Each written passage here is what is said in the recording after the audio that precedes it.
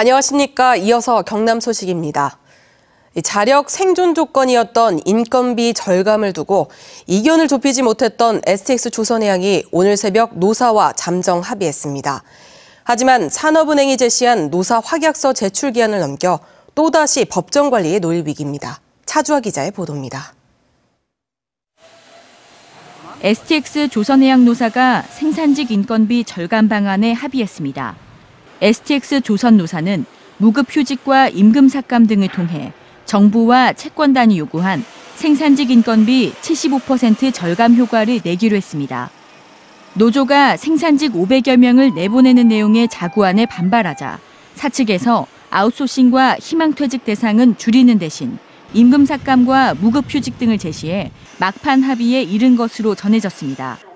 노조는 해고를 최대한 막고 사측은 비용을 줄이는 방향으로 한 발씩 양보한 셈입니다. 하지만 아직 절차는 남았습니다. 노조는 오늘 오전 조합원들에게 합의안에 대해 설명하고 동의를 구하는 절차를 거쳐야 합니다. 사측도 최대 주주인 산업은행이 요구해온 노사 확약서를 오늘 오전 최종 제출해야 합니다. 하지만 산업은행은 오늘 새벽 보도자료를 내고 STX 조선이 기한 안에 자구 계획을 제출하지 않아 원칙대로 법정 관리를 신청하겠다고 밝혔습니다. 앞서 최대 주주인 산업은행은 노사 확약서 제출 마감 시한을 어제 오후 5시에서 자정까지로 늦추고 확약서를 내지 않으면 법정 관리에 들어가겠다고 못 박았습니다.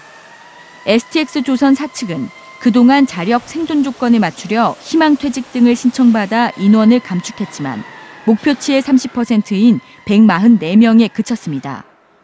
노조는 추가 인적 구조 조정은 받아들일 수 없다며 지난달 26일부터 파업을 벌여왔습니다. KBS 뉴스 차주합니다.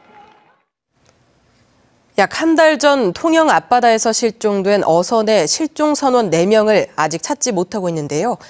이번에도 선박 위치 발신 장치가 재구시를 못했던 것으로 해경 수사 결과 드러났습니다. 박상현 기자입니다. 지난달 6일 경남 통영 앞바다에서 침몰해 4명이 숨지고 4명이 실종된 제1호. 사고 원인은 악천후 속에서 조업했기 때문입니다. 해경은 수사 마무리를 위해 인양을 기다리고 있습니다. 1차 실패를 하고요. 내일이라도 기상만 들면 다시 출발할 예정으로 있는 걸 알고 있습니다. 약속을 했습니다. 그 실종자 가족분들하고. 해경 수사 결과 이번에도 선박 위치 발신 장치인 V패스가 제 기능을 하지 못한 것으로 드러났습니다. 사고 선박은 4개월 가까이 장치가 고장난 채 조업을 해왔지만 적발되지 않았습니다. 때문에 위치가 노출되지 않아 금지 구역에서 불법 조업을 할 수 있었습니다. 심지어 고의로 V패스를 끄는 경우도 있습니다. 해상에서 각종 사고 발생 시 선박의 위치 파악이 어려워 사고 현장에 도착하기까지 많은 시간이 소요됩니다. 이로 인해 많은 인명 피해가 발생될 수 있습니다. 제주 돌고래호 사고와 전남완도 근룡호 사고 등 대형 인명 피해를 낳은 해상 사고마다 V패스가 재구시를 못한 것으로 드러나 전면적인 개선이 필요하다는 지적입니다. KBS 뉴스 박상현입니다.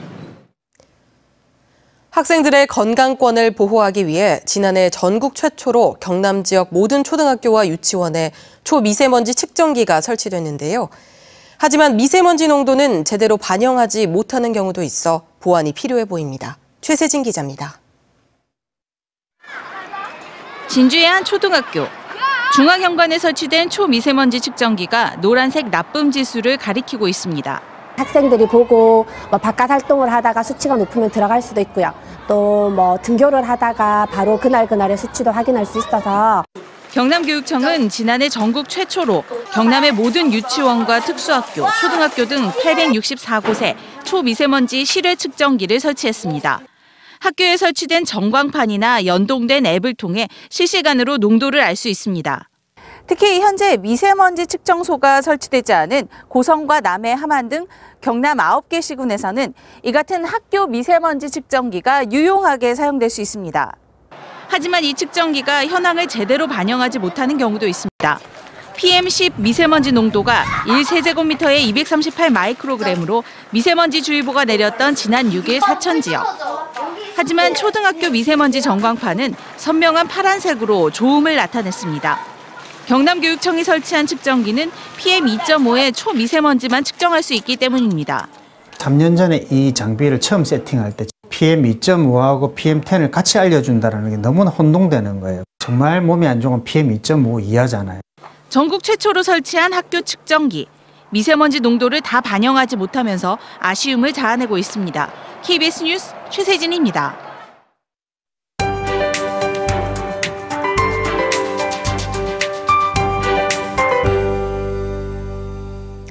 오늘도 따뜻한 남서풍이 불어들어 기온이 쑥쑥 오르겠습니다. 어제만큼 포근한 하루가 예상되는데요. 오늘 창원의 낮 기온 20도, 진주 21도, 밀양 22도로 대부분 20도를 웃돌겠습니다.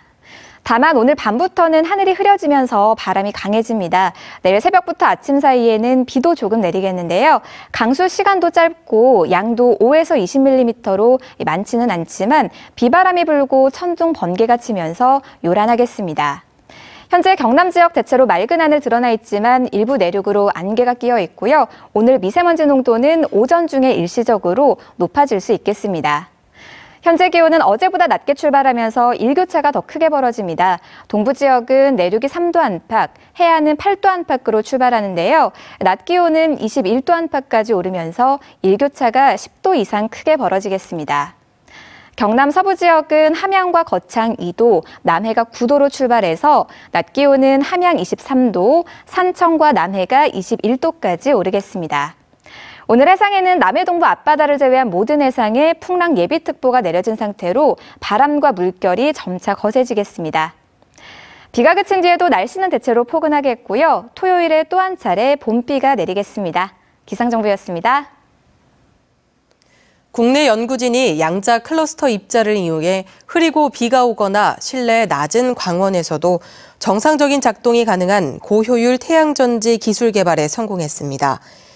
창원재료연구소 임동찬 박사 연구팀은 유기 태양전지의 내부에 원자 개수가 조절된 골드 양자 클러스터 입자를 혼합해 유연하면서 투광도가 높은 유기 태양전지를 제작하는 데 성공했다고 밝혔습니다. 골드 양자 클러스터는 기본 빛 흡수층에서 흡수하지 못하는 나머지의 빛을 흡수해 에너지 전이 원리에 의해 빛 흡수 성능을 향상하는 역할을 합니다. 지금까지 경남 소식이었습니다.